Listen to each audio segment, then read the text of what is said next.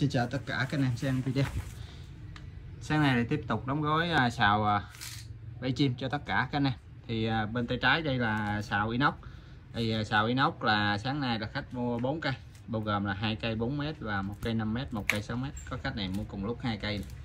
Đây, còn đây là xào nhôm. Xào nhôm này là xào nhôm thủ công cho nên là khi bán ra là sẽ có tem bảo hành 3 năm cho tất cả các anh em ở đây.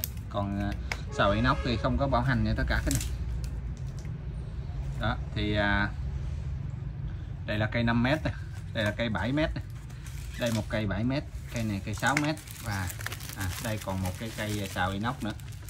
Cây này à, mới vừa đóng gói xong mỗi cái xào sau khi giao cho anh em thì chúng tôi sẽ đóng gói bằng chống sốc như thế này để đảm bảo là giao đến cho anh em nó an toàn. Đối với xào nhôm thủ công là sẽ bảo hành 3 năm và giá cả của xào nhôm thì nó sẽ đắt hơn khá là nhiều so với xào inox à, loại rẻ này nha tất cả cái này còn những anh em nào muốn